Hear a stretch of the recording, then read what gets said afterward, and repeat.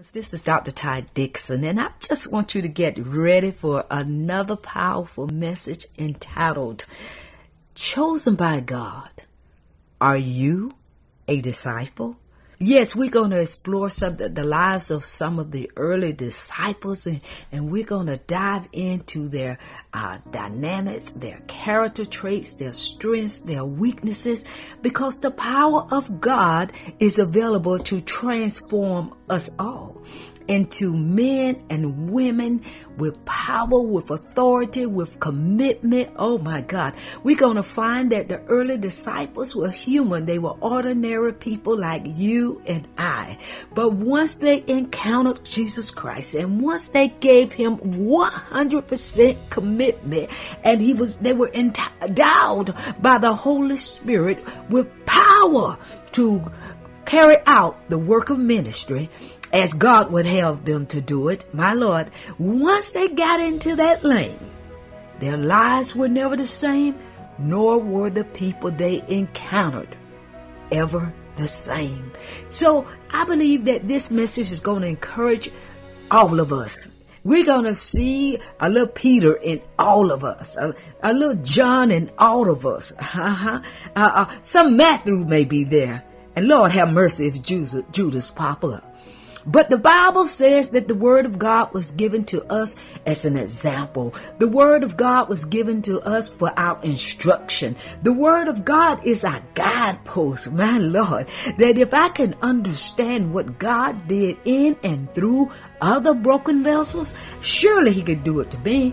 And if I could just take heed at some of the mistakes that were made and not be a what? Repeat offender in the same area, then surely I've learned or gleaned from their walk.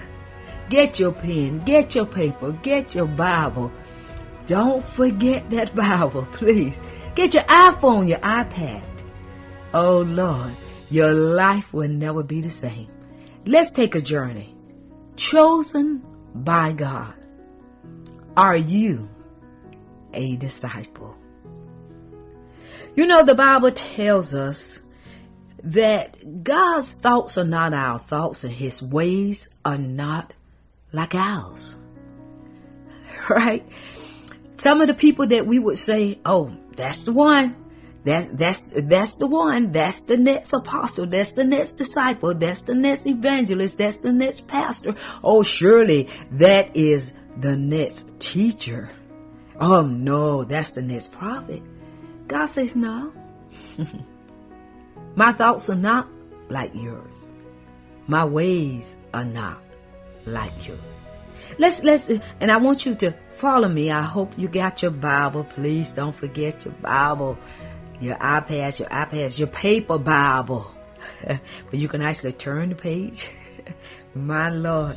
Anyway, let's look at real quickly together Isaiah 55, verse 8 through 9.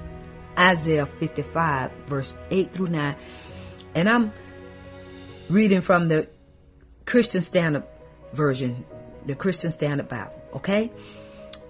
Isaiah 55, 8 and through 9. Are you still with me? It says, For my thoughts are not your thoughts, and your ways are not my ways. This is the Lord's declaration. How my God. For as heaven is higher than earth, look at somebody say, Heaven is higher than earth. So my ways are higher than your ways, and my thoughts than your thoughts. Very, very insightful, profound scripture. And if we would write it on the tables of our hearts, even when making decisions, even when our discussions, even when, God forbid, you have like a measuring stick against somebody and you deem them qualified or unqualified for the work of ministry, to be an instrument that God could use.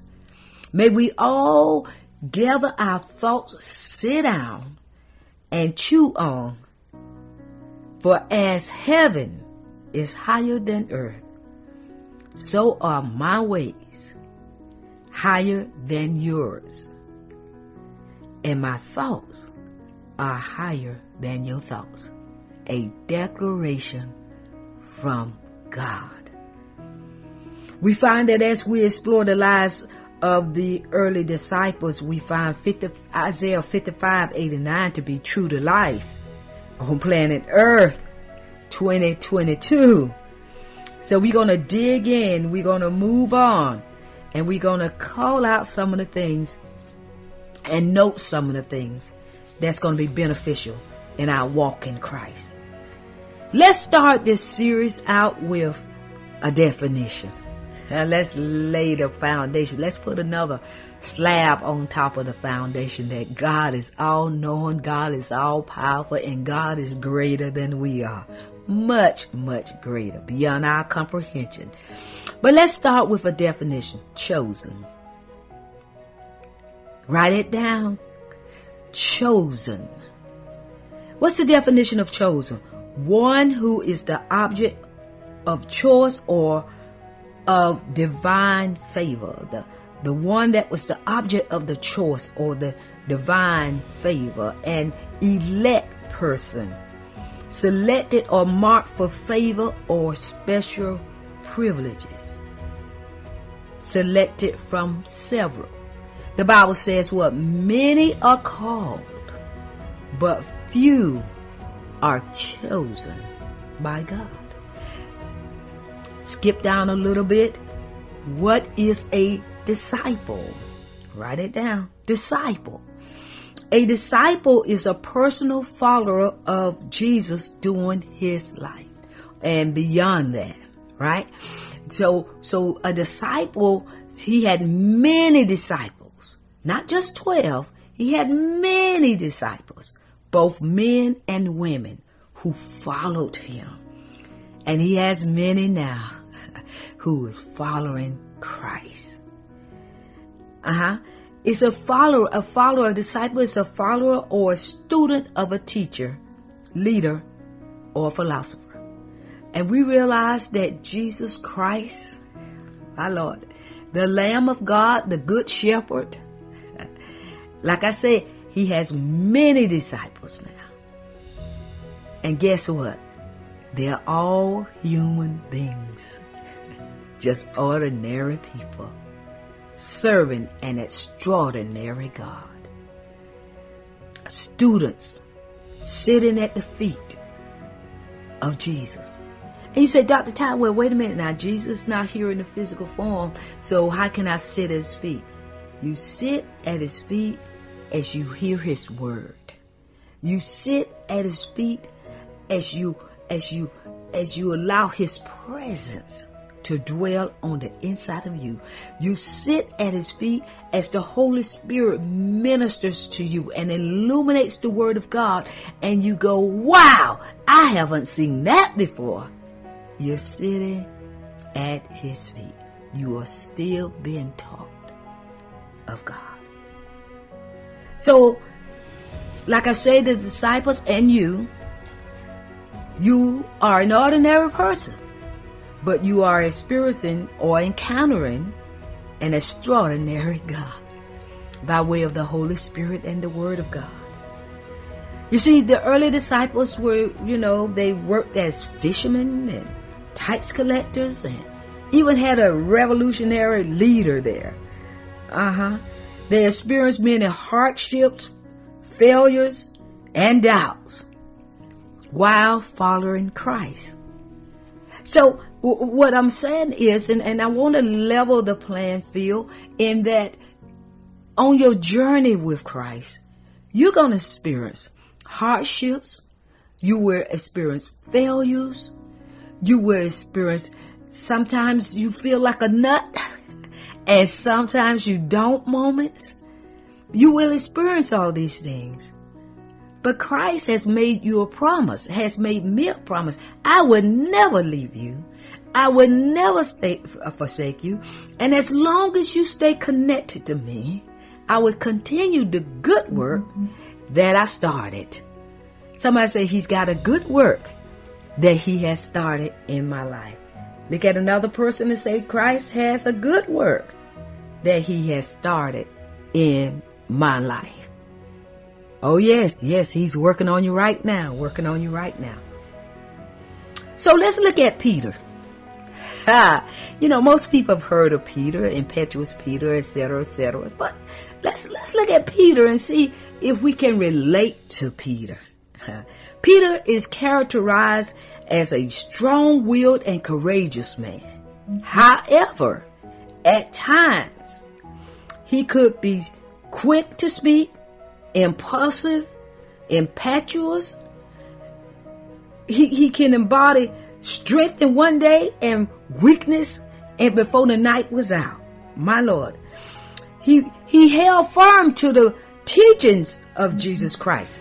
He was a believer of Jesus Christ, held firm to the teaching.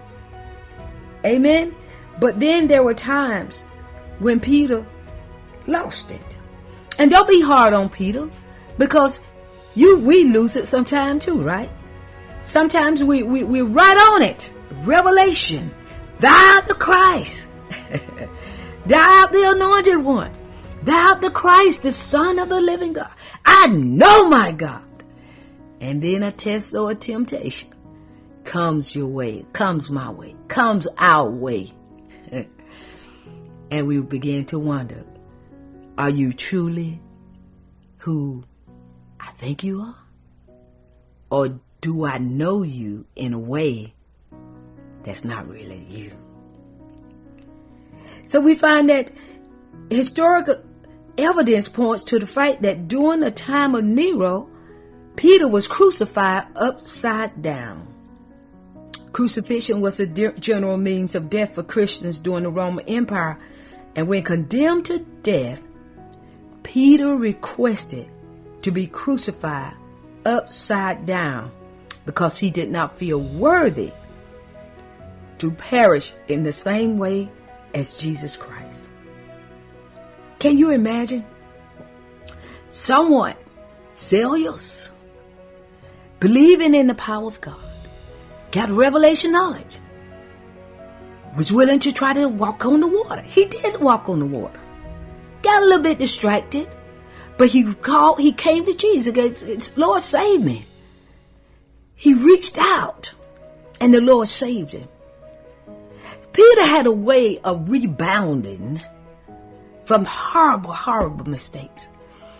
When Jesus told him that he was going to go to the cross, that he was going to give his life, Peter rebuked Jesus. Can you imagine? He rebuked Jesus. He rebuked his teacher. My God. He said, No, no. Jesus called it out. Get behind me, Satan. Peter held on. But Peter did not know, as in many of, of us do not know, when that fiery trial comes that causes us to deny the faith.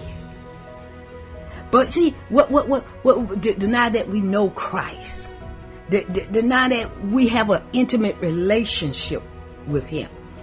Maybe that denial may come through a job offer Maybe that denial may come through being being with our, our, our, our, friends or, or being in the midst of a sorority or fraternity. Maybe that denial may come because of a family member.